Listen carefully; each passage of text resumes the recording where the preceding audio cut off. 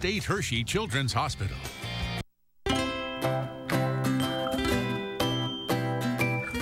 Construction is in the home stretch at the new Penn State Hershey Children's Hospital. This means specialty programs will soon start moving in.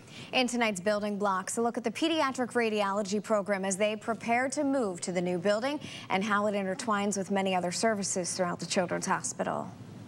Staff at the pediatric radiology program work with other doctors using state-of-the-art imaging to diagnose medical problems in children. Our imaging is really, really driving how the patient is cared for and, and what types of procedures or what kind of operations the children will have. Specialized low radiation equipment as well as MRI and ultrasound are available to patients who range from unborn babies to teens near adulthood. One of the challenges which we face is uh, working with children of all these different age groups.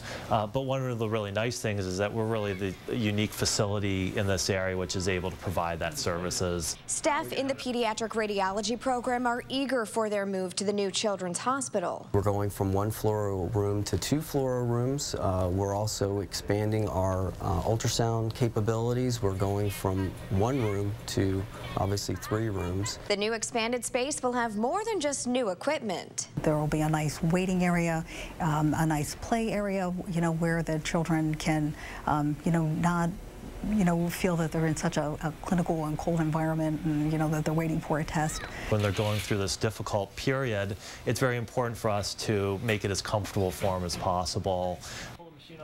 Young patients will begin moving from the main hospital to the Children's Hospital sometime in early January.